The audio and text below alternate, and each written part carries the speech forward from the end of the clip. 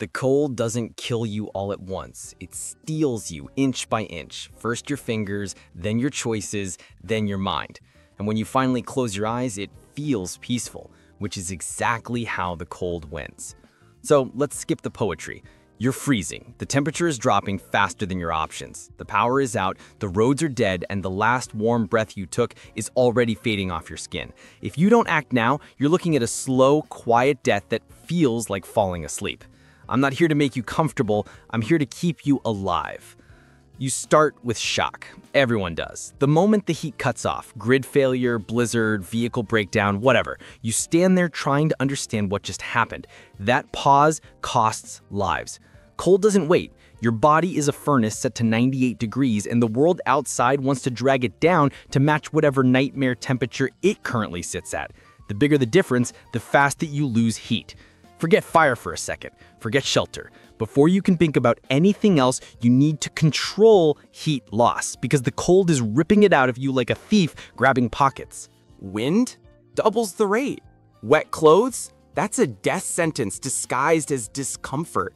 Wet fabric pulls heat out five times faster than dry. If your clothes are soaked, you're not wearing insulation, you're wearing refrigeration. So step one, stop the heat leak. That means stop moving long enough to fix what you're wearing. Shake off snow, wring out anything damp, tighten clothing around your core. Your limbs are expendable, your organs are not. If something has to get cold, let it be your fingers, not your liver. You need to think like an engineer trapped inside a dying machine. Your machine is losing heat through conduction, convection, evaporation, radiation. Every one of those is trying to kill you right now. Your job is to shut them down one by one. Now let's talk threat. Real threat. Because the cold isn't the only enemy here. It's just the one you can feel gnawing at your bones. The bigger danger is the one in your head panic. Panic makes you wander. Wander too long, and hypothermia turns you stupid. You'll start dropping gear because your brain thinks it's heavy. You'll unzip your jacket because you think you're burning up. You'll walk away from shelter because a voice in your mind says you need to cool off. Those are real symptoms. That's real danger. When everything goes wrong, the cold turns your own brain into a hostile negotiator. So you make a rule simple, brutal, absolute. Never stop thinking about the next five minutes. Where are you losing heat? How do you stop that? What buys you time? Five minutes, over and over. Fire is instinct. Everyone wants it. Everyone thinks it's the first step. But fire is loud, bright, and slow to build. Fire says, here I am to anything with eyes or bad intentions. And fire solves exactly one problem heat. It doesn't stop wind, it doesn't block snow, it doesn't hide you. Fire is a tool you earn after you stabilize. What you need first is shelter, or anything that acts like it. And no, shelter doesn't have to be a cabin or a tent. It can be a car, a ditch, a garage, a dumpster, a busted tool shed, even a drift of snow if you know what you're doing. Shelter isn't about comfort, it's about trapping the heat leaking from your body faster than the world can steal it. If you're in a vehicle, stay inside unless the engine is running and you smell fumes. The car is a metal coffin if you handle it wrong, but it's still a barrier between you and the wind. Insulate the inside with whatever you have floor mats, bags, clothes. You're not decorating, you're sealing openings. If you have to build shelter, don't think home, think heat trap. Windproof first, waterproof second, insulated last. You can stuff leaves, trash, paper, even clothing scraps into cracks. The goal isn't nice, the goal is survive.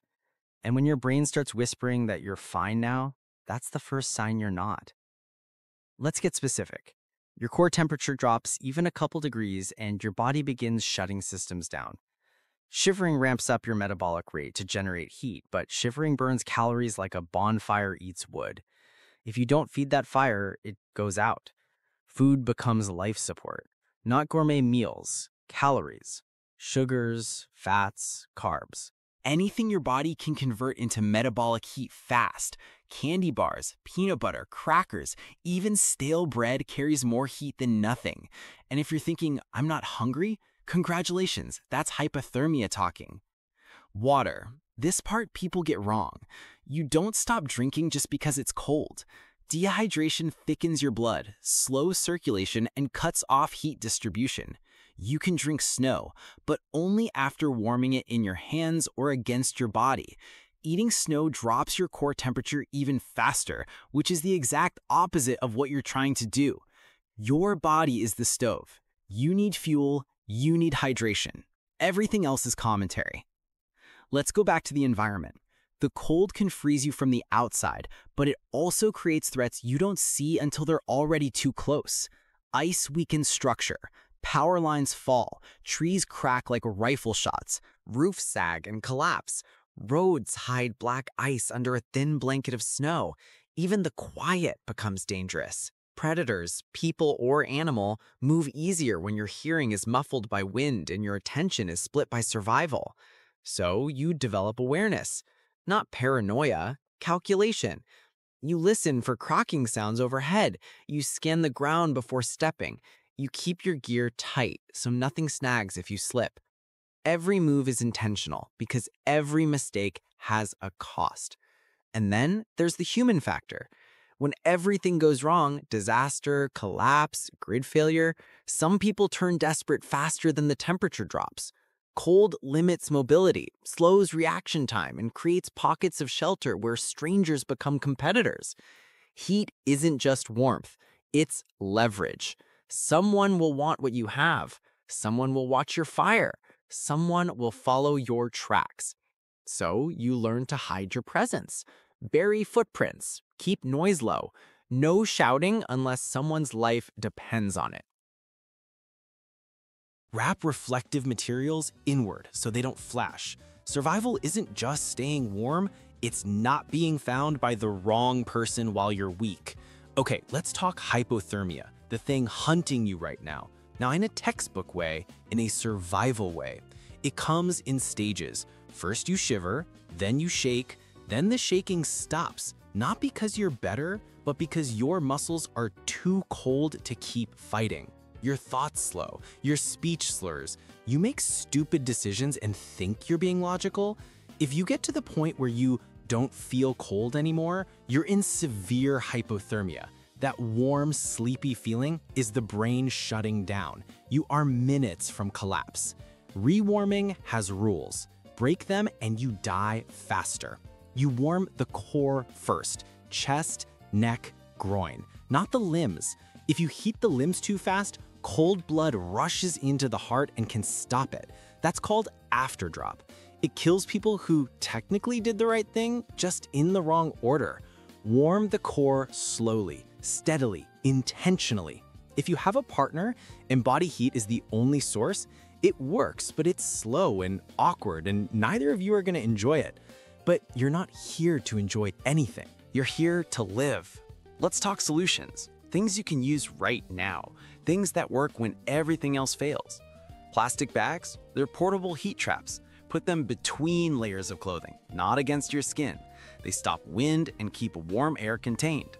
Newspaper, cardboard, loose fabric, insulation, stuff it inside your clothes. The more air you trap, the warmer you'll be. Hand warmers? Great, but only if they're touching arteries, not fingertips. Put them under armpits, inside groin folds, along the neck. Heat the blood highways, not the dead ends. No sleeping bag? You can make one. Blanket inside a trash bag. Jacket inside a backpack. Anything that traps warm air becomes survival gear.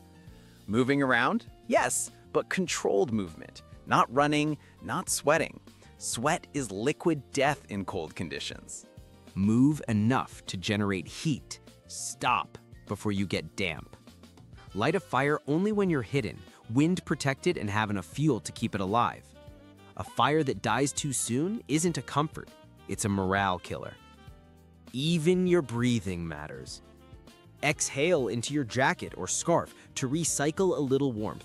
It won't save your life alone, but it buys minutes, and minutes are everything. Now, Imagine the worst case scenario. You're outside, shelterless, temperatures dropping, storm rising, and night creeping in. That's the moment where people give up. They sit down, just to rest. They don't get back up. You don't sit, you dig. Snow isn't just cold, it's an insulator.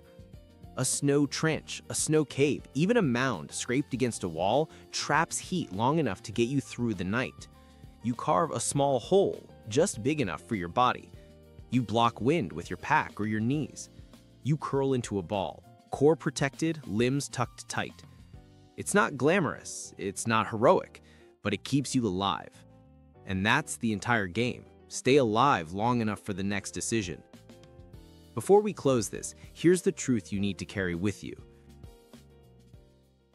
The cold isn't a monster. It isn't emotional. It doesn't take pleasure in your suffering. It's physics. Uncaring, relentless, predictable. That means you can beat it. You don't need perfect gear. You don't need a roaring fire. You don't need wilderness training. You need awareness. You need discipline. You need to make the right decisions when your body is screaming for comfort. You don't freeze to death all at once. You freeze through a hundred tiny failures. Ignore wet socks, lose a glove, stay still too long, eat nothing, drink nothing. Trust a warm feeling. Let the wind hit your skin. Say, I'll be fine. Those are the mistakes that dig your grave. Now you know how to avoid them.